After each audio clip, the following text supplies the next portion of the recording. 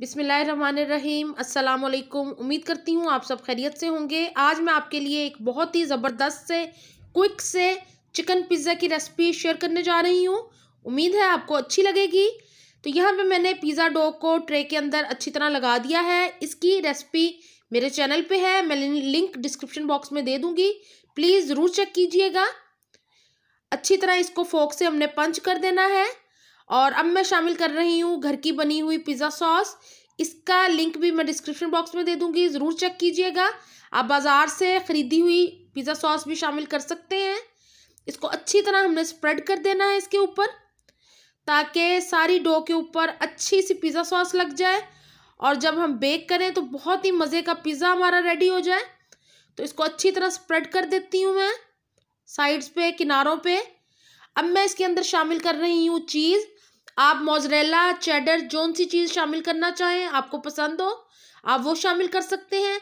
मैं यहाँ पे इस वक्त चेडर शामिल कर रही हूँ। इसके ऊपर मैं एक लेयर लगाऊँगी, कटी हुई प्याज और शिमला मिर्च की, वो भी अच्छी तरह फैला के हमने शामिल कर देना है। मुझे थोड़ा सा ज़्यादा पसंद है तो मैं ज़रा थोड़ा सा ज़्यादा ऐड कर रही हूँ। आपको जिस तरह पसंद हो, आप उसके हिसाब से शामिल कीजिएगा। बारीक बारीक कट किया है मैंने दोनों सब्जियों को।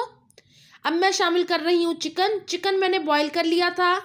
एक टेबल स्पून टिक्का मसाला, लहसुन अदरक की पेस्ट वन टीस्पून थोड़ा सा एक टेबल स्पून ऑयल और इसको अच्छी तरह मैंने पका लिया था।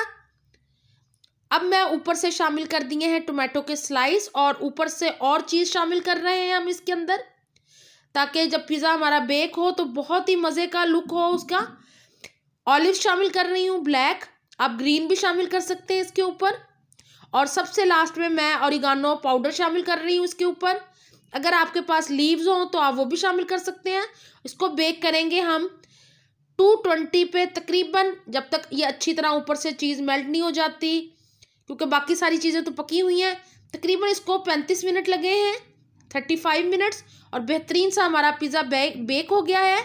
उम्मीद है कि आपको ये रेसिपी अच्छी लगेगी? वीडियो को ज़्यादा से ज़्यादा लाइक और शेयर ज़रूर कीजिएगा।